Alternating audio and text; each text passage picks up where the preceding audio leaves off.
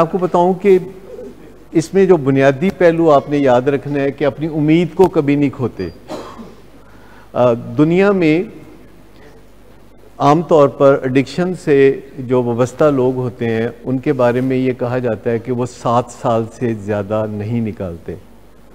यानी किसी ना किसी तरह वो एग्जॉस्ट हो जाते हैं, वो टायर्ड हो जाते हैं, वो सिक हो जाते हैं और एवरेज जो ड्यूरेशन है, जो कि कोई इस प्रोफेशन में गुजारता है वो सात साल है।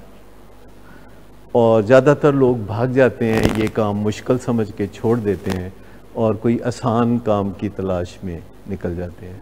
अल्हम्दुलिल्लाह, मैं कभी मायूस नहीं हुआ और मुझे शुरू के एक दो साल में थोड़ी बहुत तकलीफ़ होती थी और अमेरिका से एक डॉक्टर आई तो मैंने उनको बताया कि काम तो आप कह रही हैं कि मैं अच्छा करता हूँ, पर तकलीफ़ होती है।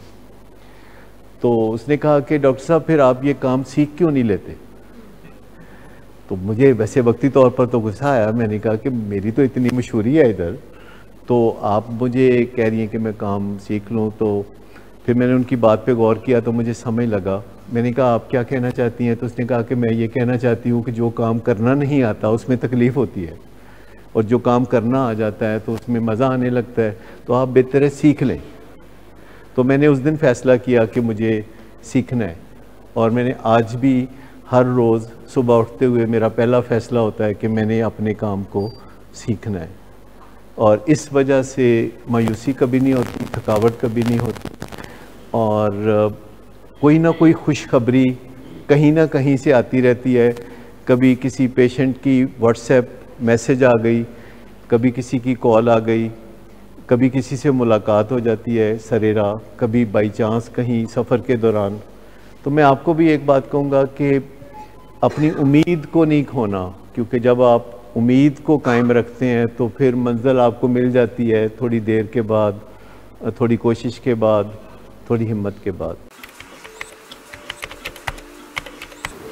Good afternoon sir good afternoon sir एक क्लाइंट बहुत देर से आपका इंतज़ार कर रहे हैं। क्या? तुम्हें किसने कहा था अपॉइंटमेंट देने को?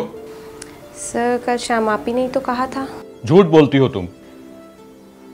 मैंने तुम्हें कब कहा था?